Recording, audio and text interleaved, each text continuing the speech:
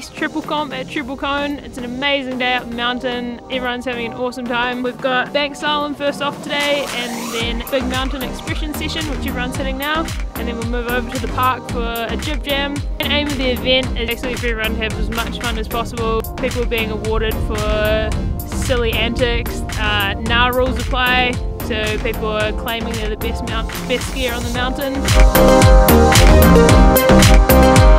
Snow's pretty good today. It's um, a little icy down here for the bank slalom, but nice and soft over there on the uh, expression session.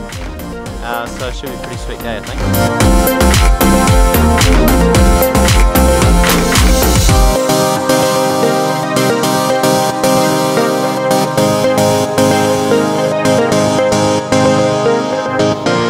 Special thanks to the sponsors, Base, Treble Cone, uh, Gloves, Bern Helmets and Rossignol Skis.